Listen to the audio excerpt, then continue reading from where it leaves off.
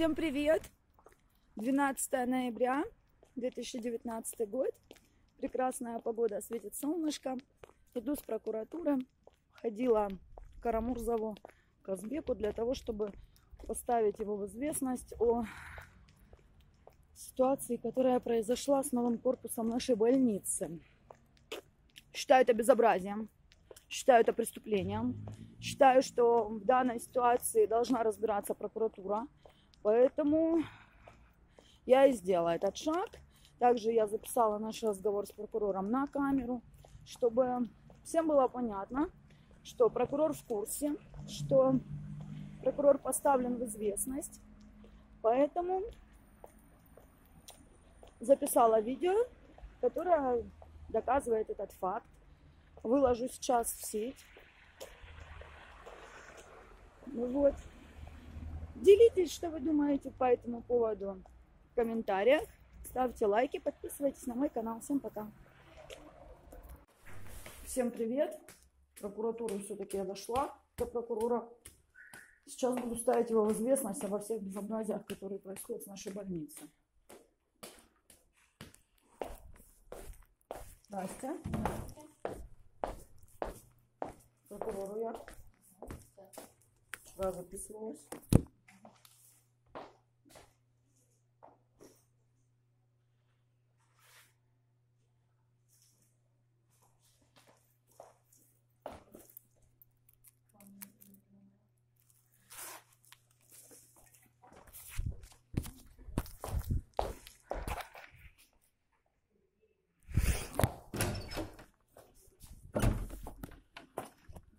Здрасте. Приятно вас видеть, Казбек. Здравия. Я к вам пришла вот по какому поводу. Ну, уж не знаю, следите вы за соцсетями или нет. Думаю, что, безусловно, это дело тоже мониторить. Вот, мониторите. Все верно. Очень хорошо. Я думаю, что тогда в таком случае вы видели видеосъемки нашей новой больницы. Ну, не я лично смотрю, помощник смотрит, докладывает. Вот, Казбек. Значит, а, я вот сейчас пришла донести до вашего сведения, что весь город увидел кадры, на которых запечатлена новая больница, которая да, даже на данный момент не сдана.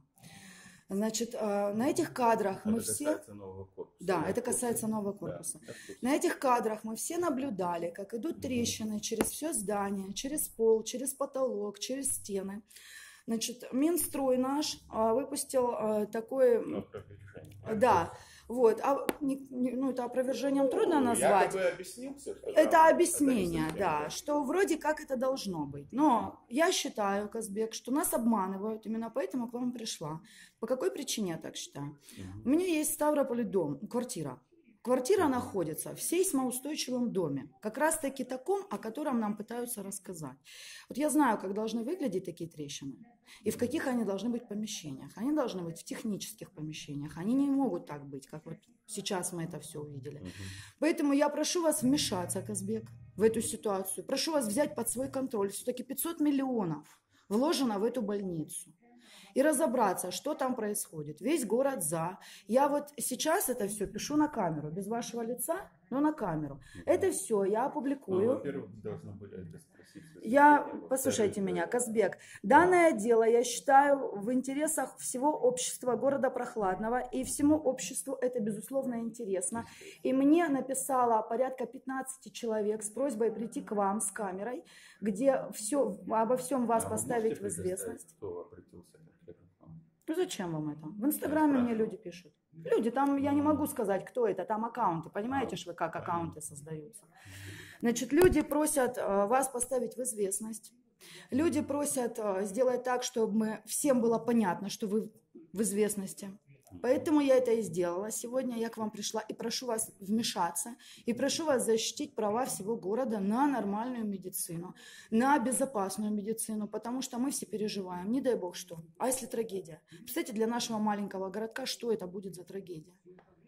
Конечно, я вас услышал. Мы сейчас оформим какое-то устное сообщение, мы начнем проверку и установленный законом срок вы получите ответ.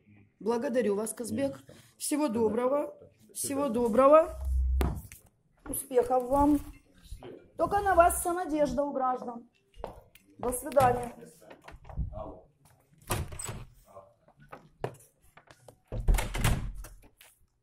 Все. Все, народ, прокурор у нас в курсе. Будем смотреть, что будет предпринято, какие меры с больницей, какие будут проверки и так далее.